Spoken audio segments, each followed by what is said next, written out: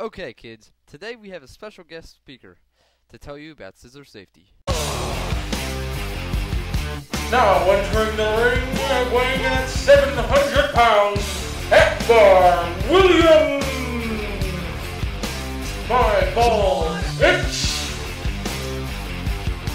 Yeah, you probably shouldn't uh, cut your own eyeballs out with the scissors.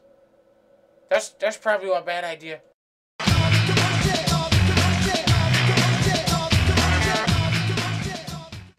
Ten years of waiting for a new Ackbar episode, and that's it?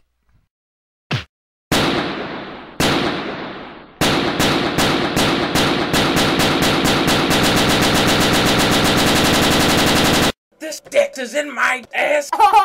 now let's go play some. you got him on that one, boss. Boss. Boss. Boss. Boss.